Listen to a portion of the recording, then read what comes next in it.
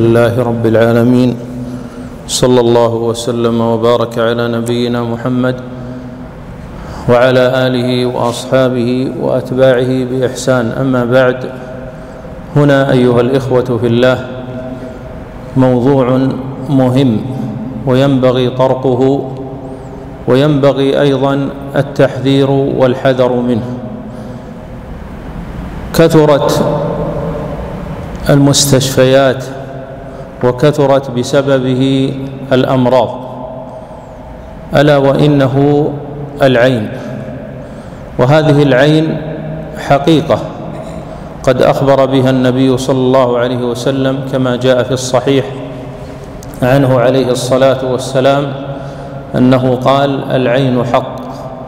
وجاء أيضا في السنن عنه عليه الصلاة والسلام العين حق. وقال عليه الصلاة والسلام أنها تدخل الرجل القبر وتدخل الجمل القدر. فلهذا ينبغي على الإنسان أن يكون دائما مستعينا بالله عز وجل وحاذرا من أن يصيب أحدا أو يصاب هو أحد من شياطين الإنس والجن. والغالب أيها الإخوة الكرام أن هذه العين تقع والعياذ بالله بسبب الحسد والله سبحانه وتعالى ذم ذلك في كتابه بقوله أم يحسدون الناس على ما آتاهم الله من فضله؟ وكاد أهل الشرك والكفار أن يعينوا نبينا عليه الصلاة والسلام قال الله سبحانه وتعالى وإن يكاد الذين كفروا ليزلقونك بأبصارهم. يعني يعينونك يا محمد عليه الصلاة والسلام. وهذه العين لا تكون إلا بقدر الله سبحانه وتعالى الكوني لا يمكن أن يقع شيء إلا بقدر الله سبحانه وتعالى. ولهذا العبد يسلم لهذه الأقدار. فإن الله سبحانه وتعالى كتبها على بني آدم قبل أن يخلقوا. لكن هنا أمر ينبغي على أهل الإيمان التنبه له وهي أن هذه العين جاءت في سنة النبي صلى الله عليه وسلم ووقعت في حياته عليه الصلاة والسلام. قد روى صاحب الصحيح من حديث سهل بن حنيف رضي الله عنه قال كنا مع النبي صلى الله عليه وسلم في سفر قال فتأخرت عنهم يعني عن القوم ورأيت ماء فخلعت ثيابي لكي أغتسل فرآه أحد الصحابة وهو عامر بن ربيعة رضي الله عنه وأرضاه. ووصفه بوصف دقيق. قد يقول ابن القيم رحمه الله تعالى إذا وصف الإنسان أخاه انطلق الشيطان في ذلك حيث أنه لا يذكر الله سبحانه وتعالى فيتحمل هذه المصيبة العظيمة. ولهذا عامر بن ربيعة لما رأى سهل بن حنيف وكان سهل رضي الله عنه قد أعطي جلدا حسنا وكان رجلا ابيضا. فلما رآه قال ولا جلد مخبأة. والمخبأة كما قال الشراح هي البنت العذراء التي لم تدخل على زوجها بعد. فوصفه بهذا الوصف ثم لبط. سقط سهل بن حنيف رضي الله عنه وأرضاه.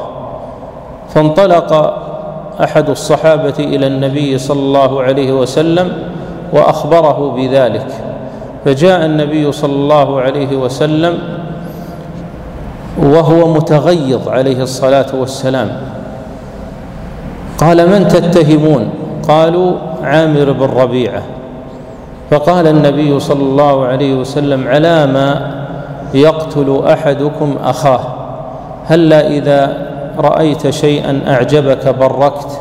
يعني قلت ما شاء الله لا قوة إلا بالله.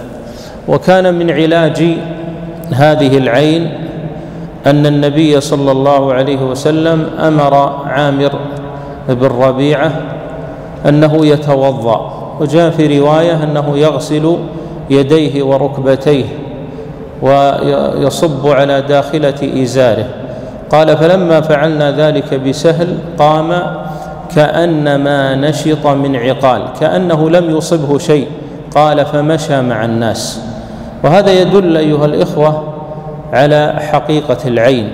ولهذا مجاهد رحمه الله تعالى يقول ينبغي لمن دخل بيته ورأى شيئا حسنا أن يقول ما شاء الله تبارك الله. الإنسان يبرك إذا رأيت شيئا يعجبك فعليك أن تبرك حتى من أهلك إذا رأيت من أهلك وحتى من نفسك. ويذكر أن عبد الملك بن مروان رحمه الله تعالى يقال إنه عان نفسه نظر إلى المرآة وقد لبس الجميل من الثياب. فقال محمد صلى الله عليه وسلم فتى من قريش ونبي مرسل ثم أخذ يعدد. وقال أبو بكر خليفة رسول الله. ثم ذكر عمر ثم أتى على نفسه. وقال أنت شاب جميل ثم لم يلبث إلا شهر حتى توفي. وهذا يذكرها أهل التجارب أن الإنسان إذا لم يبرك ولم ولم يذكر الله سبحانه وتعالى فقد تقع. وأمر آخر أيها الإخوة في الله أن الإنسان يكون دائما ملازما للطاعات والأذكار الشرعية. ومن الطاعات التي بإذن الله عز وجل تكون سببا بإذن الله سبحانه وتعالى المحافظة على هذه الصلوات. قد جاء في الصحيح عنه عليه الصلاة والسلام أنه قال من صلى الفجر في جماعة من صلى الف... أنه عليه الصلاة والسلام أخبر أنه من صلى الفجر في جماعة فهو في ذمة الله أي في حفظ الله وفي كلاءة الله وفي رعاية الله. فأنت يا عبد الله حافظ على هذه الصلوات خصوصا صلاة الفجر التي هي من آه، الأسباب المعينة على حفظ الله سبحانه وتعالى. وخصوصا أيضا أن الإنسان يبتدئ يومه بطاعة الله سبحانه وتعالى ويبتدئ يومه بتوحيد الله. فأنت إذا صليت الركعتين آه، الركعتين الركعتان التي هما ركعة الفجر السنة وقرأت فيهما قل يا أيها الكافرون وقل هو الله أحد أو قولوا آمنا بالله وقل يا أهل الكتاب بدأت يومك بتوحيد الله سبحانه وتعالى. وهذا من أعظم حفظ الله سبحانه وتعالى للعبد أنه يبدأ يومه بتوحيد الله سبحانه وتعالى. ومن الأذكار التي بإذن الله عز وجل تقي من العين قول أعوذ بكلمات الله التامات من شر ما خلق. ما معنى أعوذ يا عباد الله؟ ألتجئ إلى الله. أسلم نفسي إلى الله. التجئ إلى الله سبحانه وتعالى بأنه لا يضرني شيء من هذه الشياطين شياطين الإنس والجن إلا بأمر الله سبحانه وتعالى؟ فإذا استعذت بالله سبحانه وتعالى أعاذك من هذه الأشياء. وقبل ذلك يكون القلب أيها الإخوة معلق بالله لأن بعض الناس يكون عنده شيء من الخوف. ولهذا تجد أن بعض الناس قد تصيبه هذه الأمراض مثل كورونا وغيرها بسبب خوفه وهذا العامل النفسي عامل مهم. قد يموت الإنسان بسبب يعني الزيادة والوسوسة من كثرة الاحتياطات. فهنا كما قال أهل العقائد يعني ترك الأسباب طعن في العقل وفي الشريعة. والعمل بالأسباب هو التوكل على الله. إذا توكلت على الله وفعلت الأسباب الشرعية فإنه لا حرج لكن أن يكون القلب دائما خائف من هذه الأشياء ومتعلق بالأسباب يكون في ذلك ضرر على الإنسان بحيث أنه تصيبه هذه الأشياء. ودائما سبحان الله الذي يتوكل على الله ويجعل أمره إلى الله سبحانه وتعالى تضمحل هذه الأشياء. ولهذا قوة التوكل على الله يعني هذه الأسباب تختفي بسببها. يعني تأمل في القرآن ومن ردد القرآن تبين له عظم هذا الأمر العبادة العظيمة وهي التوكل على الله عز وجل. تأمل في إبراهيم عليه الصلاة والسلام. لما ألقي في النار قال حسبنا الله ونعم الوكيل توكل على الله. انقلبت هذه النار الحارة إلى برد وسلام. لماذا؟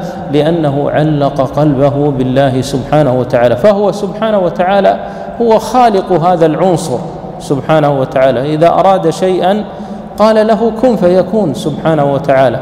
وتأمل أيضا يعني أحوال نبينا محمد صلى الله عليه وسلم عندما مثال ذلك عندما كان في الهجرة عليه الصلاة والسلام. فعل كل الأسباب عليه الصلاة والسلام. من ذلك أنه اتخذ آه، عبد الله بن أريقط الليثي في الهجرة كي يدله على الطريق وكان رجلا خريتا. وأيضا يعني اتخذ طريقا لم تفكر فيه قريش.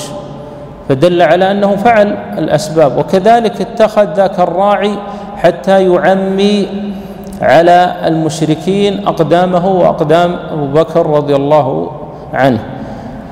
لكن بقي أمر وهو أن هؤلاء المشركين لما وقفوا على على الغار وكان فيه النبي صلى الله عليه وسلم وأبو بكر رضي الله عنه يعني قال أبو بكر يا رسول الله لو نظر أحدهم إلى قدميه لرآنا.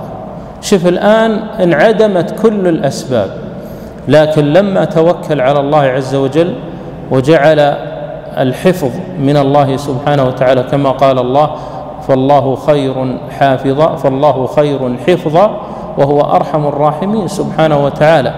فجعل أو هذه تلك الأسباب انقطعت كلها وبقي مسبب الأسباب وهو الله سبحانه وتعالى. ولهذا يقول أهل السير أن الله سبحانه وتعالى أعمى هؤلاء الكفار عن النظر إلى أسفل منهم. وهذا دليل أيها الإخوة أن الإنسان إذا توكل على الله عز وجل مع فعل الأسباب الشرعية فإن الله سبحانه وتعالى يكلأه ويرعاه. نسأل الله سبحانه وتعالى أن يحفظنا وإياكم بحفظه وصلى الله وسلم وبارك على نبينا محمد.